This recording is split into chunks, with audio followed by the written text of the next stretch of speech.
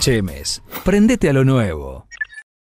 Un gran sacrificio el que tuvieron que hacer hoy, ¿no? Sobre todo en la, en la parte final. Sí, creo que tuvimos que hacer un sacrificio más, corrimos un poquito más, creo que por ahí un poco desordenado porque ellos un jugador más, abrieron bien la cancha, dominaron por ahí el segundo tiempo mucho, pero no llegaron con esa contundencia que lo lastimaron, creo que nosotros lo paramos bien y bueno, no pudimos atacar con contundencia por el jugador menos, pero hicimos lo posible para, para tirarnos a un tercer partido. Cuando adelante puso la pelota en el piso y pudo hacer su juego fue el, el mejor momento, ¿no? Y que incluso llegó el gol.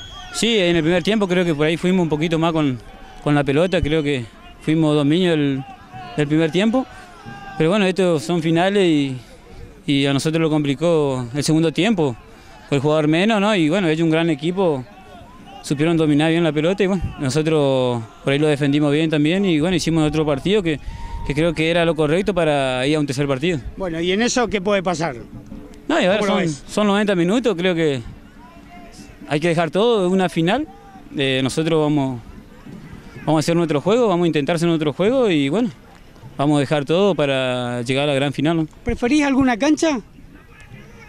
No, creo que este equipo demostró que, que es capaz de jugar en cualquier cancha, pero bueno, no sé, decidirán el, la liga decidirá y bueno, este equipo está preparado para jugar en cualquier cancha y vamos a dejar todo para, para ganar ese partido. Gracias, Cristian. No, gracias.